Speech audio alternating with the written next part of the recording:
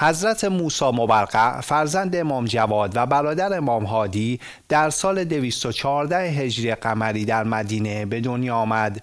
مادرش سمانه زن نیکو سالی بود که به مادر فضیلت مشهور بود.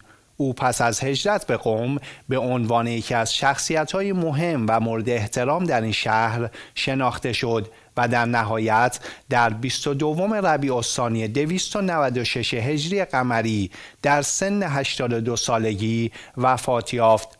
مدفن او در محله موسویان قوم کنار بقعه چهل اختران قرار دارد و از آن زمان به عنوان مزار شیعیان مورد توجه قرار گرفته است.